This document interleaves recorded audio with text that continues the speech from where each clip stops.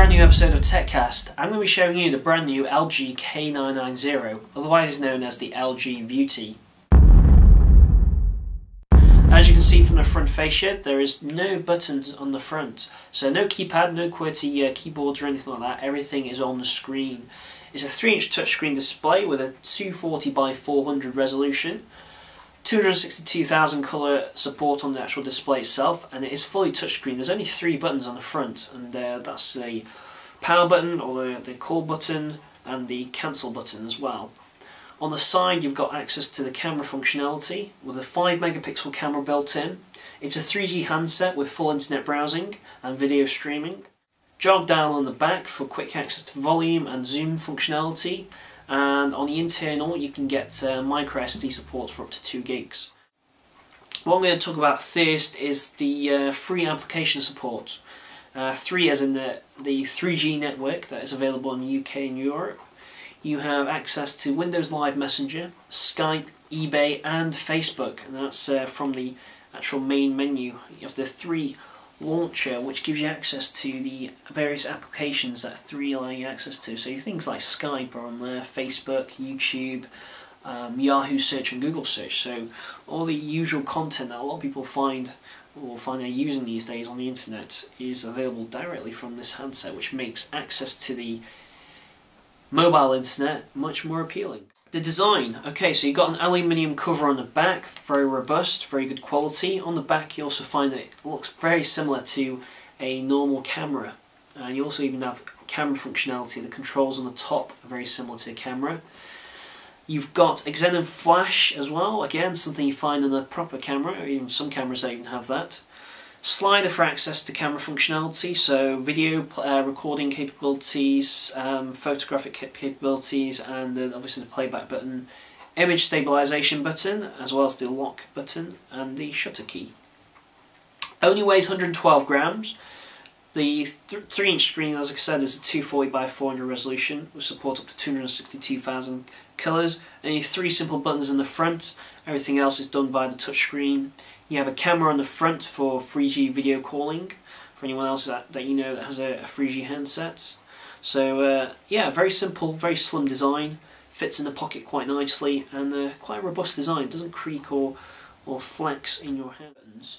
Now the actual keys are very uh, responsive, so there's no not much of a delay when you're actually pushing the button. Everything is done via the on-screen display, so very similar to what you've seen perhaps on the iPhone. And uh, obviously there are some design cues that are taken from the iPhone. But yeah, very quick and very simple access to the dialing functionality. So um, we've got here a blank screen, it is actually switched on, um, but to save power, actually doesn't display anything on the screen whilst it's not being used. If you hit the actual key on the side, it will actually activate the screen, gives you the time and date information, hit it again and it actually unlocks the screen itself. I'm going to run you through the actual keypad because that's going to be definitely a concern for a lot of you out there who are considering buying this handset or any any um, full screen touchscreen device. So as uh, I said you get the keypad functionality so just like you would do on a normal handset you've got T9 text so it has predictive text and again you can have the uh, the vibrating feedback whilst you hit each key. So whilst you don't get the tactile feedback from a real button, you do actually get a vibrating feedback from that. So you can get the uh, normal 1 to 9 number keys, or you can have a full QWERTY keyboard.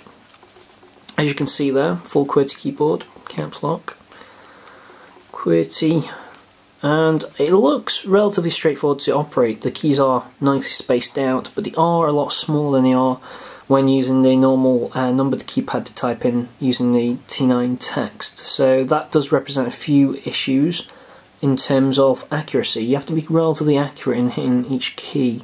So I just go and do... See, I was aiming for D then, and actually went for F and S instead. So if I want to type, if I want,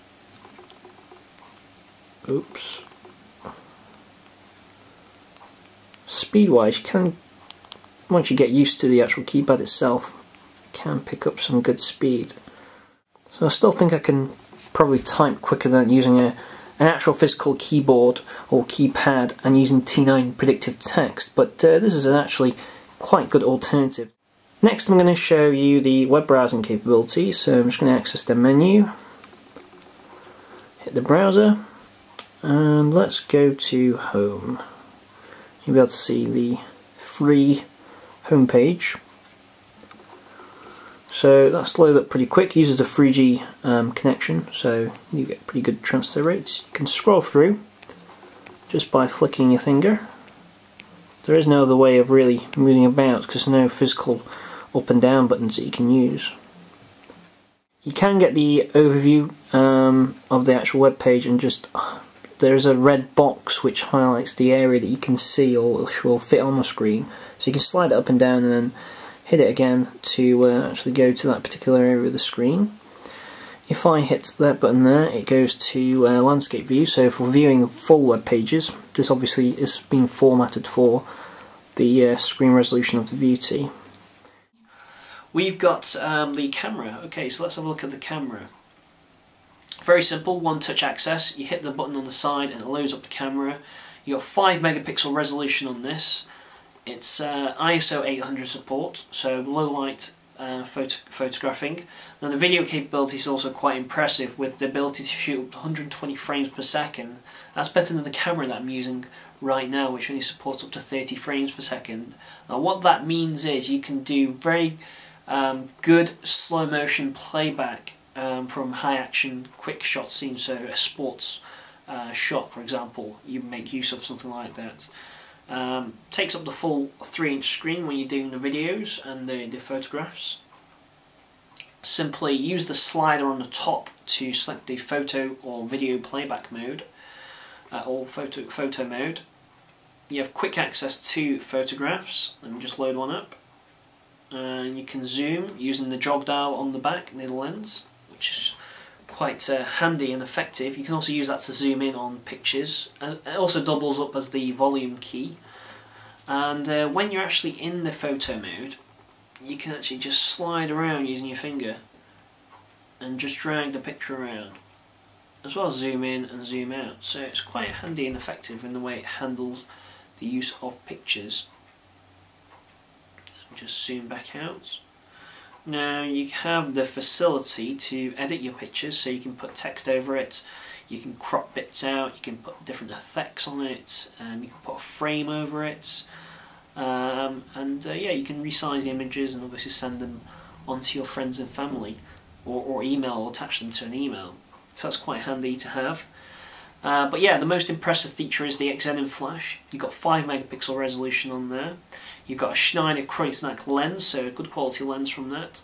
Auto and manual focus, which is odd for a, phone camera. ISO 800 and an image stabilizer, which is quite impressive. So you've got pretty much a fully featured camera built into this handset and uh, this is something that the iPhone doesn't have. It doesn't have the high quality camera and video um, recording facilities that this LG Viewty has. So that's quite impressive from LG and that they've been able to bundle that straight in there. So let's recap. We've got a 3G 3-inch widescreen touchscreen display, 5 megapixel camera with uh, image stabilization and ISO at 800 support for low light capability. You got a jog dial for support um, for zooming and volume controls. It's fully touchscreen, on-screen keypad, on-screen dialing pad, full front uh, video capability, so you can do 3G calling, headphone support, Bluetooth 2.0 built in, and uh, that's the LG Viewty. Go check out the full review at techcastnetwork.co.uk. Make sure you have a look at the pictures, and uh, this is definitely worth considering if you're looking for a touchscreen enabled device with a decent camera.